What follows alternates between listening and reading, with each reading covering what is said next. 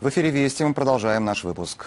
Солнечные батареи на крышах многоэтажек. Такую картину скоро можно будет увидеть во многих регионах России. Причем даже там, где привычно облачно. И еще оказалось, что на светиле можно и зарабатывать. Как попытался понять Сергей Самоха.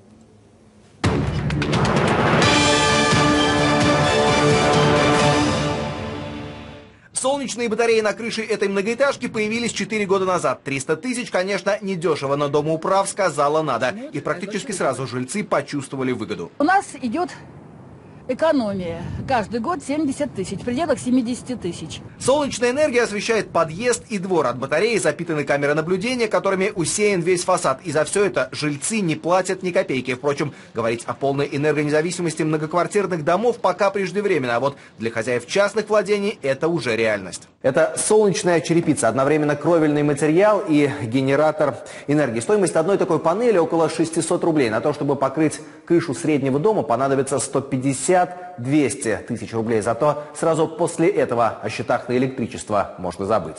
Солнечная черепица – разработка академика Дмитрия Стребкова. Российскому ученому удалось сделать энергетические модули как никогда эффективными. На рассвете, закате и в зените панели выдают максимальное количество электричества. Мы встроили туда встроенные зеркала, которые мы называем стационарные концентраторы. То есть они концентрируют солнечное излучение независимо от положения Солнца. Первый дом с солнечной крышей несколько лет назад построили в Анапе. Городской особняк полностью автономен. Крыша покрыта черепицей, но лишь пятая ее часть с фотоэлементами для производства энергии. 28 квадратных метров дали нам мощность 2 киловатта.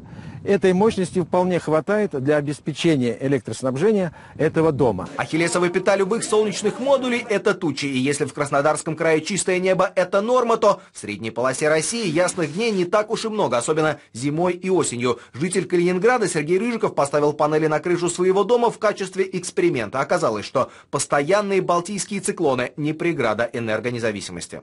Дом потребляет очень много электроэнергии, но так как пасмурный день, то он, по сути, только обеспечивает себя. Панели мощностью 5 киловатт производят энергии больше, чем может потребить двухэтажный коттедж. Тогда Сергей пошел еще на один эксперимент и добился права у энергетической компании поставлять свою солнечную энергию в городскую систему. Все лето я кручу счетчик в обратную сторону, ну, зимой немножко подкручу в обратную.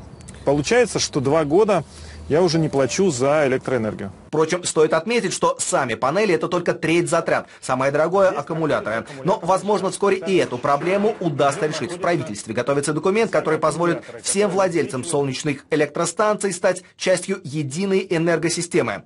Для полноценного пользования энергией солнца аккумуляторы и вовсе будут не нужны, а в качестве батареи выступит сама энергосистема. Днем, когда большинство людей на работе, излишки электричества поступают в распределительную сеть. По сути, владелец солнечной батареи продает энергию энергию территориальной генерирующей компании, а, к примеру, вечером, когда потребность в токе возрастает, абонент привычно потребляет электричество из общей системы излишек или это электроэнергия, то его можно будет продать по договору гарантирующему поставщику.